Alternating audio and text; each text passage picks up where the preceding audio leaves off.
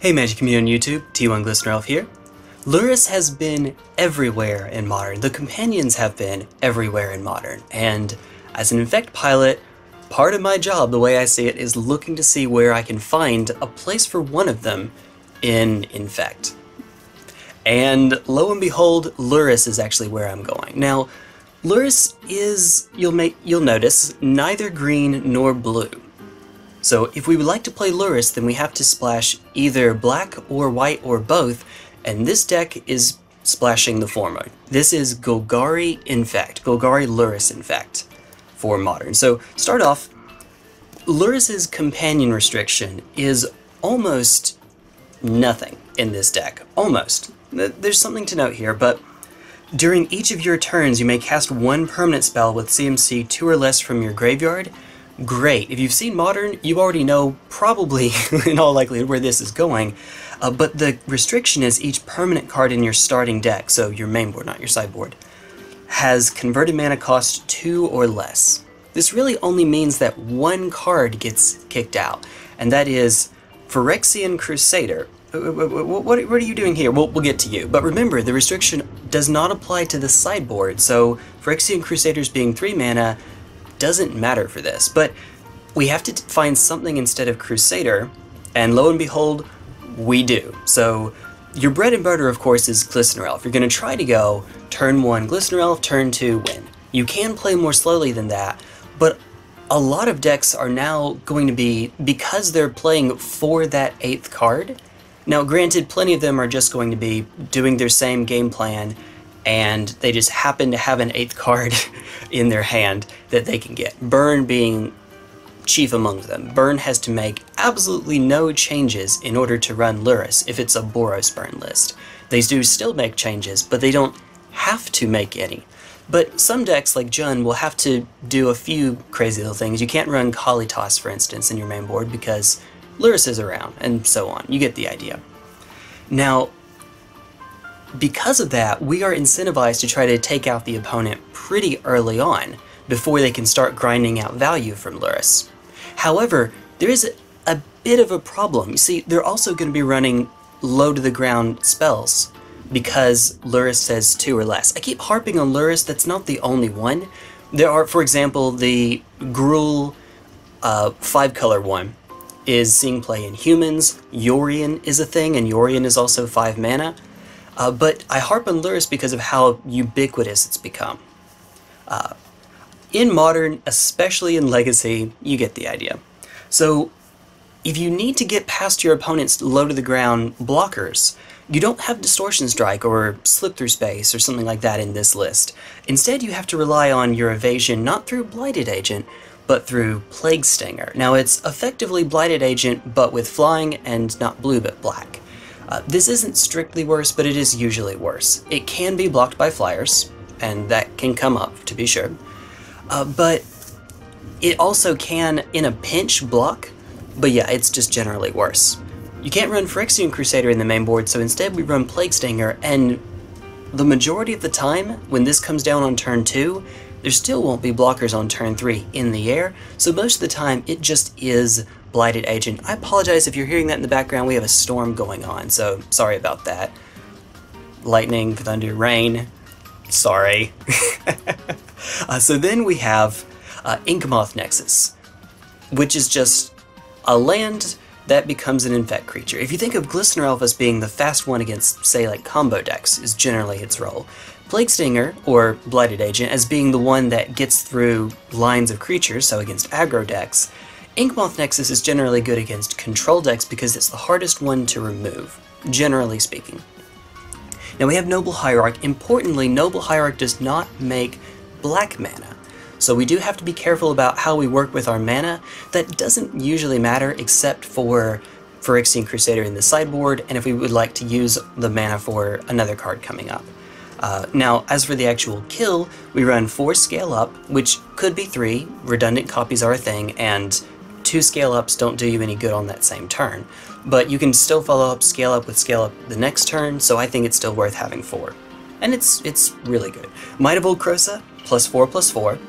If, if we're casting it, it's probably plus 4 plus 4.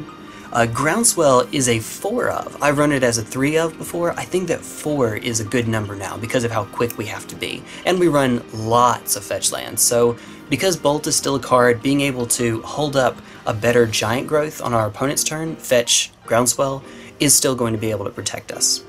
Uh, I run one copy of Become Immense because it gives us something to do with our graveyard, and it's huge. Four Vines of Vastwood because we need to protect our creatures, and it's also plus four plus four.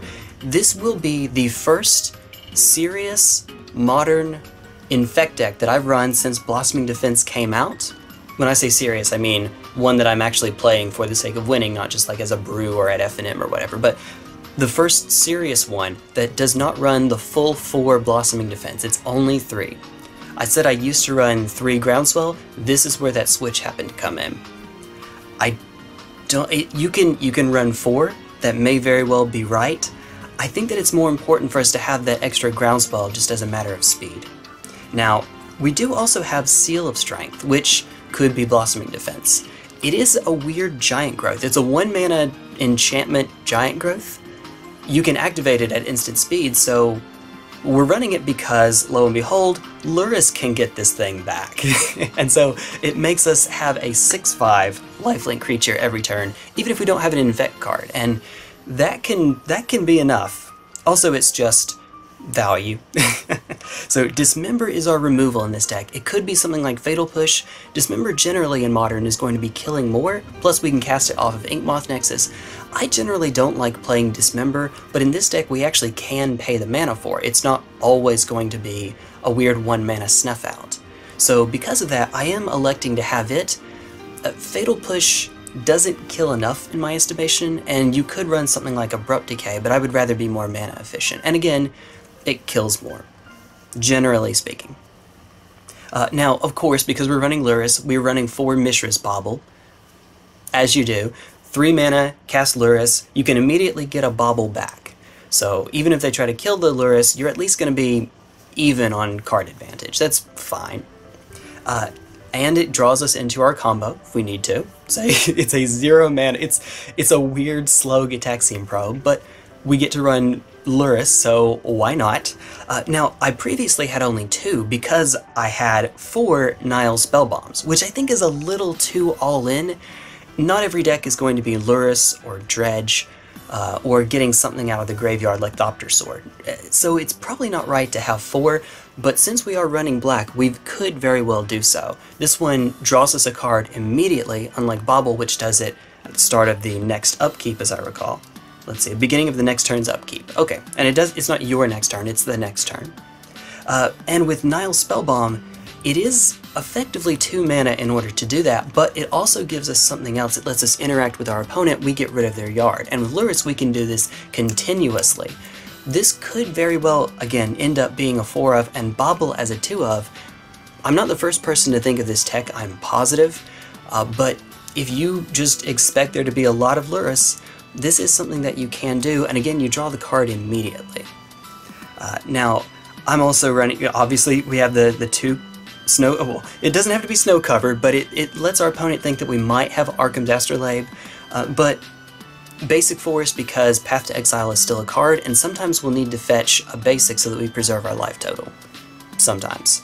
Uh, two Overgrown Tombs, only two, and then I'm running seven fetch lands. As long as they fetch green, you're fine. It doesn't actually matter the composition, except for cards like Sorcerer's Spyglass or Pithing Needle, which aren't really a thing right now. So don't worry about it. Don't don't think too hard about this part. Just use whichever seven you have.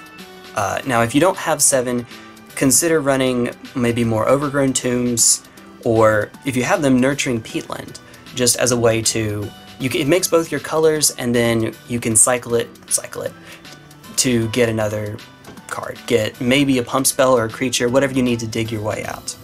It's kind of a mana sink. When you have that much mana, if you're making it to that far in the late game, it'll give you another card. Then we have two Pendelhavens. This could be one. I think that two is still correct. All of your creatures that have Infect anyway are one ones. In this deck, you maybe could do one because you're constantly having a 3-2 in hand, and that doesn't benefit from Pendelhaven. I would still stick with two if it were me. You also have Dryad Arbor as a way that you can fetch for, say, like Liliana, or just a like a Liliana's Triumph, anything that you want to do like that. Uh, and it also gives you a backup win con. For the same reason that sometimes you can swing with Noble Hierarch and get there, you can do so with Dryad Arbor as well. It lets you potentially, if your hand is otherwise godlike, keep a hand that doesn't have an infect creature, uh, but it maybe has Noble Hierarch fetch land. I don't recommend it, but it's possible, and in a pinch, you can go for the regular damage kill. Dryad Arbor's not as impactful now as it used to be, which is why I'm emphasizing things weirdly when I give this analysis, because Liliana isn't as prevalent of a card as she used to be. Uh, but nevertheless, it is something you can do. Now, and also Dryad Arbor serves as a Planeswalker killer in general. Fetch, and then on your turn, use a pump spell, kill that walker. Great. Now, for the sideboard, uh, uh, one of our cards is Lurrus, so we have 14 cards otherwise.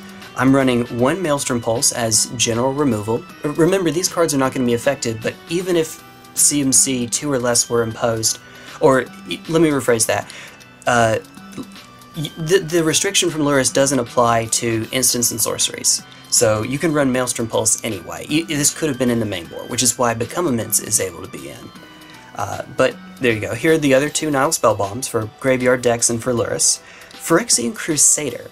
Now this has a few interesting uses. It is good for Jund. It is good for decks that are running red and white so like Jeskai being a thing. Uh, but it also is there for burn. Pro red means they're not going to be able to remove it, and if this thing sticks and they don't kill you on the next turn, you win the game, is generally how that works. They can't stop your Phyrexian Crusader. Even if they had a white card like Auriok Champion or, or Kor Firewalker or something like that, you still can go right on through them. And as popular as Red Deck Wins is right now, as Boros Burn is right now, I think that that's absolutely worth it. Now, it doesn't have lifelink on its own, so they can still beat you on the next turn, but you still have Lurrus in the sideboard, and Lurrus is a 3-2, and we have other cards we're getting to in a sec. Now, I have Seal of Primordium as a recursive way to deal with artifacts or enchantments. Again, Lurrus is broken. We have four Tarmogoyfs. Now that we're running artifacts, we have five card types in our deck that can go to the graveyard. We have lands, creatures, instant sorceries, artifacts, and that means Tarmogoyf gets better. So this is potentially a 5-6, and because you're running Noble Hierarch in the deck as well, you can win opposing Tarmogoyf wars, which matters for Jund, for Jund Shadow, uh, for, I'm seeing Zoo come back. It matters for decks like those. Zoo's not really a thing, but okay, you know, you can, well, I can dream, I can dream, no. Uh, but Tarmogoyf gets to be better in Infect as a backup card. Generally speaking, Tarmogoyf doesn't get to serve quite as well as some other options because Fatal Push is a card, and that could still be the case here.